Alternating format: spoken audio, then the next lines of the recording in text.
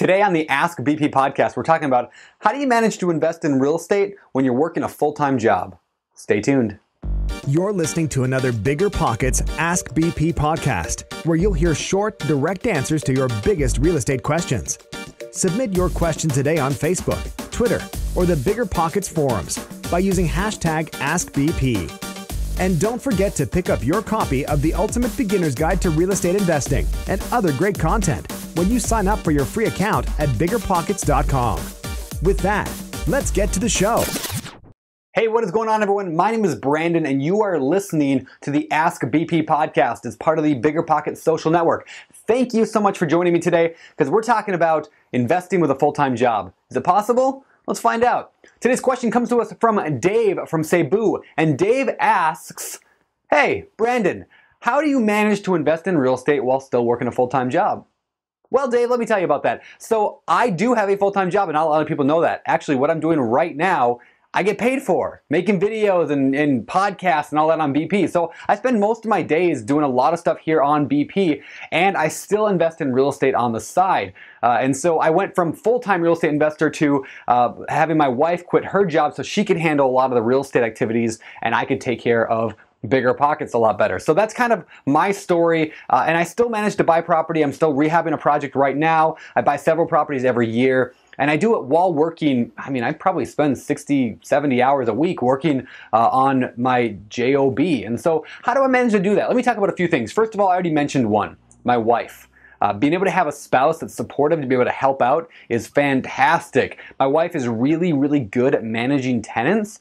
And so all of our rental properties now, she can take care of them and look after a lot of the issues. So she does a lot of the bookkeeping and the, you know, looking for new contractors if we need to. A lot of that stuff she takes off my shoulders. Uh, then also we hired an individual. Uh, my mother-in-law actually does a lot of the answering phone calls, showing units, things like that. Um, and so that's a huge relief. And then finally, uh, you know, we have a lot of outside contractors do things like, you know, to do the repairs. I don't do the repairs anymore. We have people to do that. We have plumbers, we have electricians, we have carpenters.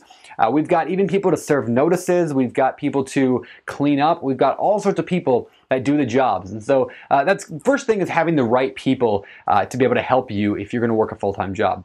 Secondly, uh, I think it's really important to treat your business like a business because that is what real estate is. So when you treat your business like, you know, you're you don't have a lot of time to run it. Like you need systems and processes and all that. Just like a guy who owns a McDonald's down the street, they run a business. Uh, they're not sitting there flipping burgers. They're running a business, right? So the same thing is true for you. You shouldn't be out there if you're working a full-time job. You probably can't be out there doing every aspect of your business, but you got to treat it like a business. And that's not just by. I don't just mean having employees. I'm talking about uh, having systems that that deal with everything that you're going to go through. You know, so for example, uh, if you don't have a system for how you move in new tenants, every time it's just a brand new thing, you're just kind of making it up on the spot. You know, it's, it's hard. You have to be involved all the time. But when you have a documented system that somebody else can follow or that you can follow to quickly make sure you're not wasting time, uh, that is how you are more efficient. And then finally, really understand that if you have a full time job, you're probably working 40 hours a week, maybe 50, right? Uh, in addition to that, you're probably sleeping, let's say 50, 60 hours a week. So you got 100 hours there.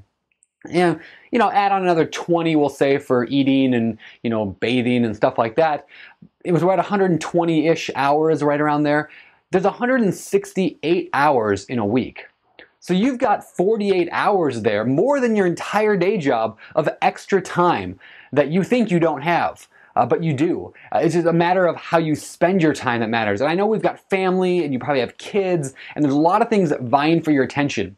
But you know, so does Netflix and so does the movie theater and all these other fun activities that we want to do as well. Uh, something has to be sacrificed somewhere. And so for me, I don't watch a lot of TV. I don't watch a lot of movies. I don't do a lot of, uh, you know, extracurricular activities because I focus a lot on building my real estate business in the nights and weekends, and I focus a lot on being the best person I can at my job during the day. So I want to encourage you guys to do the same. Uh, if you're looking to become better at that and maybe quit your job, uh, that is definitely something you can do. I don't recommend doing it like today unless you've got some kind of cushion to be able to handle it, but you could use real estate to get out of your job if that is something that you're looking to do. So keep that in mind as well. Uh, so pretty much that's what I got for you today on how to manage, you know, all your properties or being a real estate investor despite working a full-time job. You got to rely on people. You got to treat it like a business, and uh, you just got to be able to maximize your time and be as efficient as possible. So with that, we're gonna get out of here. Uh, today's success quote comes from good old Abe Lincoln, and Abe Lincoln said, "The best way to predict your future is to create it." So with that, let's get out of here. Remember, in pursuit of your dreams and your goals with your real estate ambitions, don't just learn, but what? Take action. For the Ask BP podcast, this is Brandon signing off. You've just heard another episode of the Bigger Pockets Ask BP podcast. Submit your question today on Facebook, Twitter, or the Bigger Pockets forum by using hashtag AskBP. And for more incredible real estate investing tools and education, including a free download of our book, The Ultimate Beginner's Guide to Real Estate Investing, head over to biggerpockets.com and sign up for your free account today. We'll see you on the next show.